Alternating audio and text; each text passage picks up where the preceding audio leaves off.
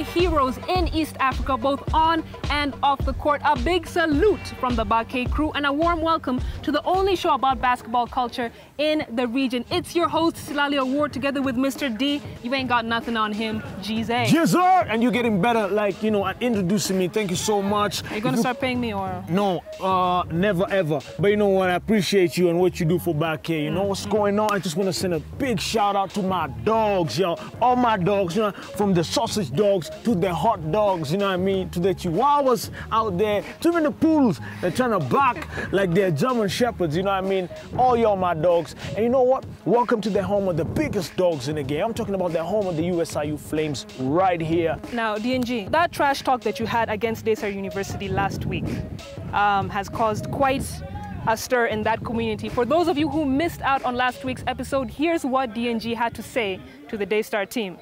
Get up. Daystar's like a chihuahua. Have you ever seen a chihuahua? Yes. Chihuahuas are those dogs that just, you know, small dogs, man, like, they're like sausage dogs Yeah. that got a makeover. but and squished a bit. Yeah, squished a bit. They're like compacted in like a box. he's got the loudest bark, but he's got the softest bite. It's like, are you serious? Are you serious right now? Now That's Daystar. this right- Daystar, baby. Get out me, dog. Now, D, Yo, Daystar University came back with a comeback for me, for you, and you- Me. You, need, you know, you need to see this, dude. You need to see this. But this is DNG. This is what we're gonna do with you. Fucking South Poodle right here, man. South Poodle. Ah!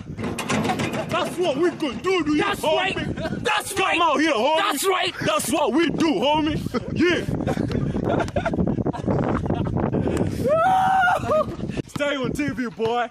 Stay on TV.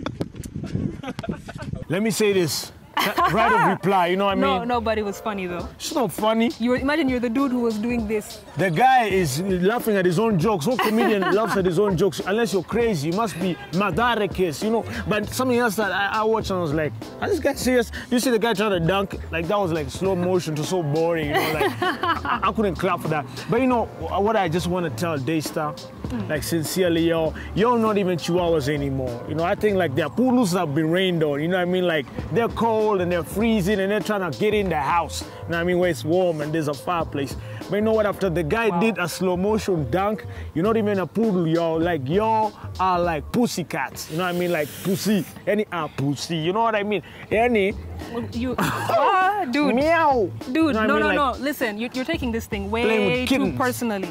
I mean, did you apply to Daystar University and then they rejected you? That's why you ended up here. No, I've always been in the big league, USIU, you know what I mean? That's where I did my undergrad, and I'm back there doing my global executive MBA. Okay, that's what's yeah, up. It's deep like that. Big, big dog things, you know what I mean?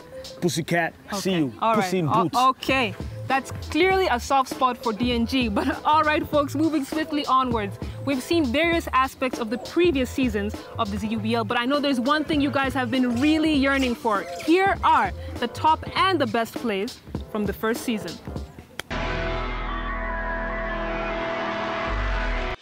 Here we go, to play it game that got all the fans excited. There, John Omia with a dunk inside. What a game.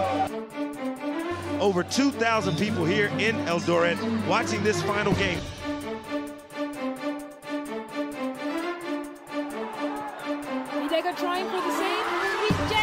Rejected. Huluya again with the ball, takes it in, and look at him. Then steal in the middle of, in the, middle of the floor. six. Goes in and blocked by Joseph Awad.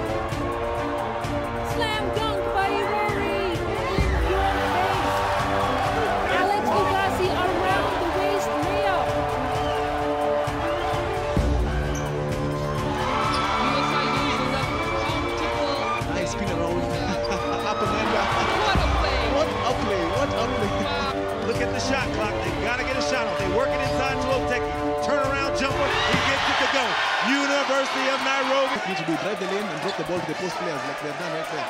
Hope Hope Roberts getting it inside. Up fake. Great Shots from uh, from way There he downtown. I mean, there he is. He- I mean, then he goes on the move, gets the feeling, and that's what we talked about. You, Another long, uh, long. But you know that inside, that inside pass. there he is. Did not handle the press. Inside, David Macharia, no foul call. Here comes USIU back the other way. And Pass. Boy, this Jeffrey Oseki.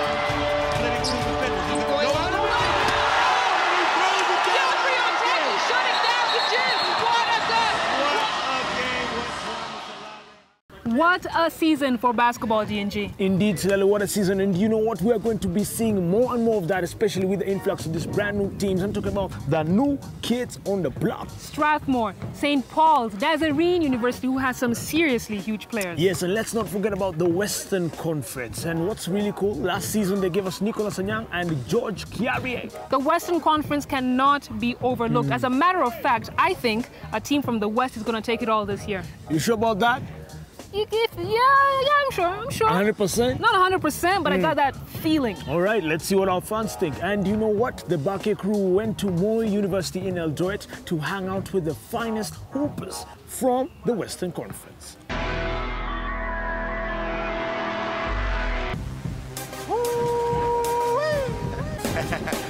This, we gonna be singing a milli, a milli, milli, milli. Nikumbricha, kulikumbusi. I'm just saying it, man. At the sea of Matusi, bali wengine bonoko watarudi kwenye University main campus. Show!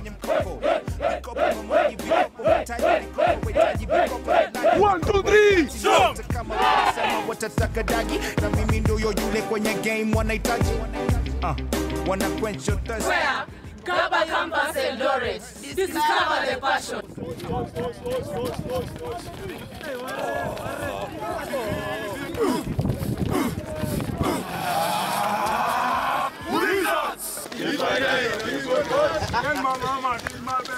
Last season we were not really a strong team as we currently are. The team to watch out was MKU Nakuru, but apparently we hear MKU Nakuru are out of the playoffs, so we think we can take this.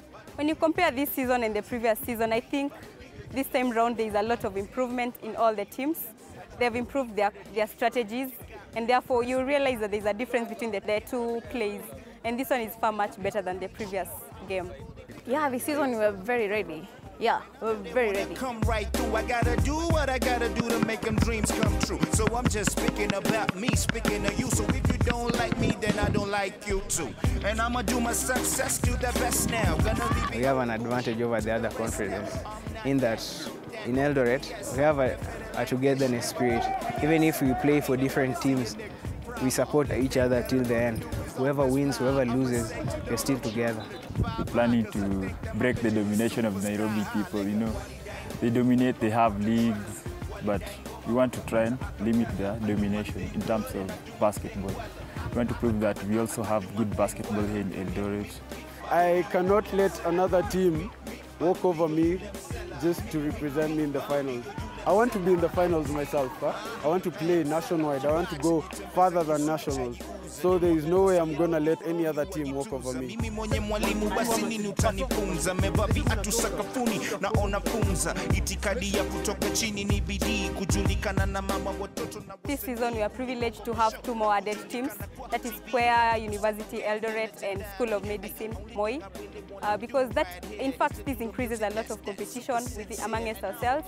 It helps us to meet new new teams and make us work harder because sometimes we may get used to these teams which are around here and we relax because we understand their play. So being new in the in the league is actually fantastic. Last year we had to be we had to watch the games from either telly or the bench, which was uh, kind of not fun. Uh, we had that urge. We really wanted to participate in the Zuku Basketball League. We can now challenge any team, even from other conferences. Talk of basketball in Uasin Gishu, they are ready to challenge them at any time, at any place.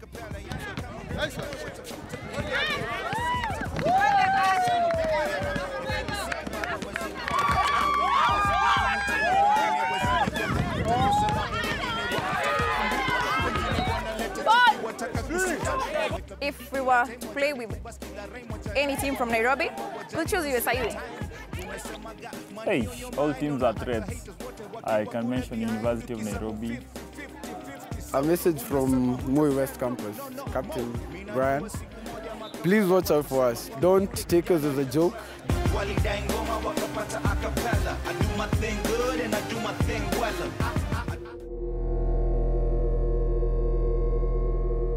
Welcome back to BAQE. The Western Conference always graces us with some seriously awesome basketball. So time to check out some of the game's highlights. Saturday afternoon, first leg of the ZUBL sees Moi University Maine in the black and red take on the University of Eldoret in the blue. UOE setting the tone with a baseline jumper from number 9, Maxwell Odwar. Odwar at the top of the key. Quick game of hot potato and number 8, Cliff Mumbo, knocks it down inside. Moi Main trying to force the ball into the post and it's stolen. It's a long pass to point guard Joshua Muruge who is wide open for the easy lay-in. It's University of Eldoret again with the possession who are absolutely dominating this game. Odwar shaking and baking at the top of the key knocks down the J. Number 13, Paul Ekasa decides to go for it, not a chance. He went up with a right hand on a left hand layup, didn't protect the ball, and that's what you get. And we see Moi Main with another turnover that cost them as University of Eldoret capitalized on every mistake. Odwar again from his sweet spot. Moi Main's big man Matthew Otieno manages to beat two opponents and gets his team two points. UOE with a response on the other end as number 5 Isaiah Kiyaka proves that he too can take on several defenders. It's a close game as things wind down here in the fourth quarter. Bullet pass from Musyoka to number 13, Paul Ikaba with a strong finish. It was a nail biter in the final minutes, but University of Eldoret go on to win it 39 to 30 points. Our second game for the afternoon gives MKU Eldoret in the white and blue the opportunity to challenge Moi University main campus. There we see the Moi main team planning their strategy for this game after already losing a close game today. It's never a great thing to lose on your home court and Moi main with the opportunity to redeem themselves. MKU already punishing in the first quarter, there's a scuffle in the paint for the ball, but number 12, Jeff Lumumba, battles to get it and soars above his opponents for the Baby J. And the home crowd loves it. Number 12, Giorgio Yo silences the crowd with a flawless three. Lumumba at the top of the key gets it to go. Moi Main campus coming alive as number 11 Boaz Sunday with the fancy Euro step. We have a game, ladies and gentlemen. But MKU Eldoret's Oyo has a hot hand and is making sure that his team maintains a solid lead. It's back and forth as Lumumba, who is seemingly unstoppable in the paint, makes sure his team stays in it.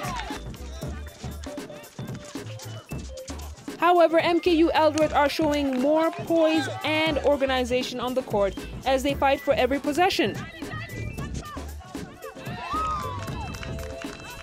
Whether it's the putback, the fast break opportunity, or their many steals. Despite having the home crowd support, MKU Eldoret are riding a train that can't be stopped as we see the Moi main team realizing that they've lost their second game of the day on home court. MKU Eldoret take the win 59 points to Moi Main's 47. And that's it for this week's Game of the Week. Now over to the professor with another lesson in the fundamentals of basketball. And indeed, some great games from the Western Conference, as expected. Today, we shall continue our lessons on basketball fundamentals, and we're going to touch on the passing skill. The first lesson that we must teach the players is stance. Stance is the most basic skill that must be taught to every player to make them effective and efficient. How does wrong stance affect how you pass the ball? I have noticed, for example, some of the players have got their feet too close to each other. This makes them imbalanced because they don't have a low uh, center of gravity.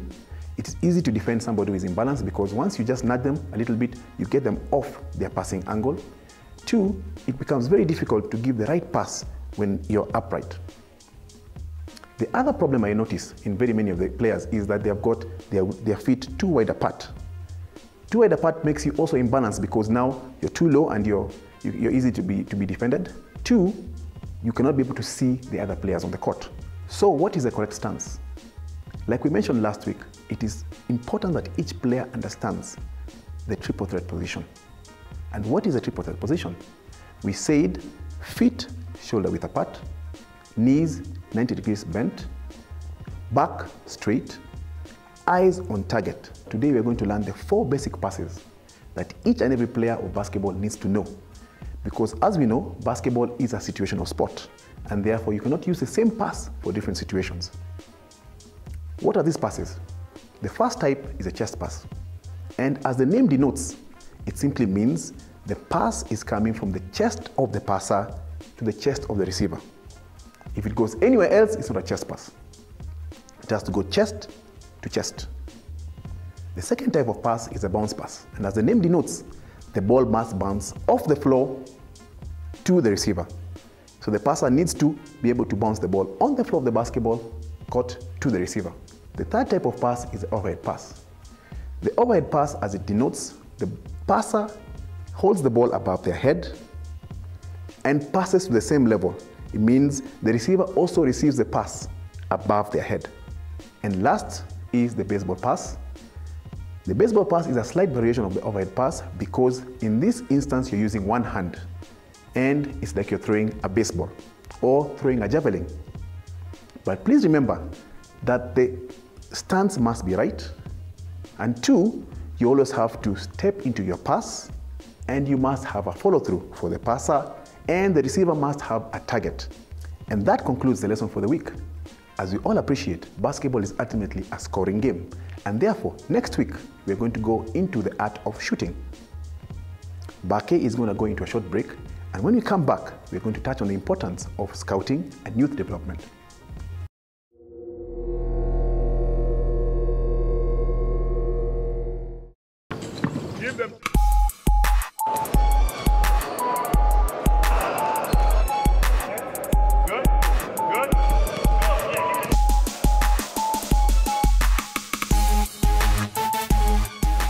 Scouting basically means identifying talent. seeing kids that have potential to be, they're not necessarily already there, uh, and then being able to track them as time goes. I want to believe there's a lot of talent. It's only that uh, people have not been able to nurture that talent. As scouts, we help encourage the kids, we give them hope and aspiration, because when they know they're being watched, they work harder. When their coaches know they're being watched, they make them play better. They also take more time with them to develop them individually. Many coaches get the reputation through the amount of players that they've developed, that they've formed, that they've created. When I'm identifying talent, the two things I look at. First, it's the physique. That's the physical appearance of the player. This being basketball, there's a particular physique we're looking for. Having some good height is an advantage, though not the main thing. I also look at the, the skills that the players have. the ball and you go in, you don't get the ball. Personally, as a coach, I can see a player and I can tell you how far that player can go because I've been in this game for the last uh, almost 20 years, both as a coach and as a player.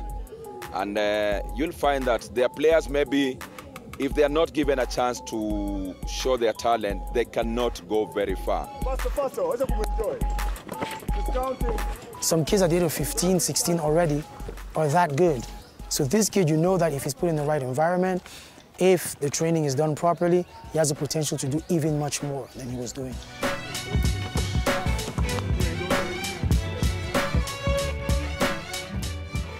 The importance is to help build that momentum, is to help nurture that and be able to detect so that the talent doesn't fizzle out.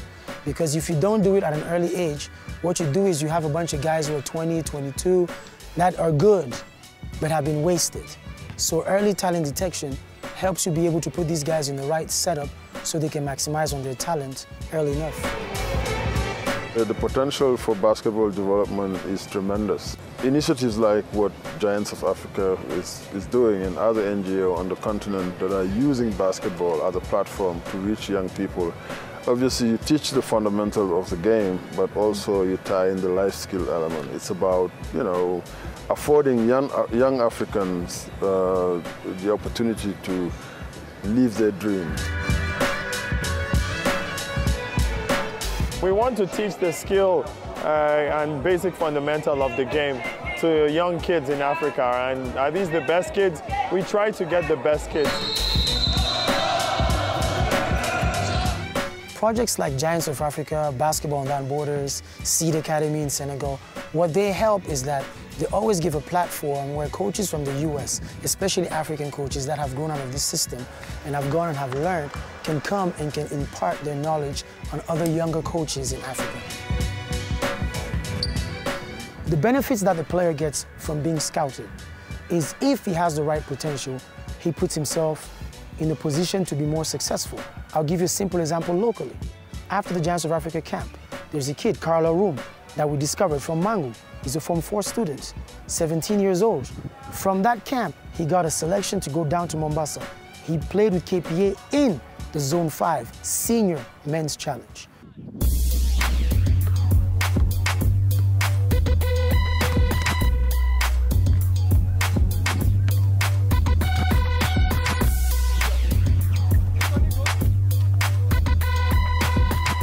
It was a nice experience, mainly because of the exposure. I got to, to be coached by some of the international coaches who coached at the, at the highest level. Well, I was the first high schooler to play in an international tournament, played against the, some of the best international players in Africa. I mean, they're doing awesome things trying to, go, to grow the sport in Africa, uh, trying to, to go everywhere, every, mostly in Africa, trying to grow the sport, holding cups, inviting people. Carl Arum is a talented uh, boy. We groomed him and saw that uh, he could play very good basketball. Uh, so we started training him in Form 1. Scouting for these kids um, at an early age is advantageous because it avoids rewinding of players in the, in the national teams and or, or other clubs uh, championships that we may be having. A couple of players from Africa that have gone out because of scouting are players. Hakeem Olajuwon, first of all, was one of the first guys. He was got out of Nigeria just because of scouting. Somebody saw him, sent footage to the U.S. Dikembe Mutombo. Serge Ibaka was scouted during the tournament in Congo. That's how he went to Europe, to Belgium first and played. Hasheem Thabeet was scouted after uh, East African high school games here in Africa.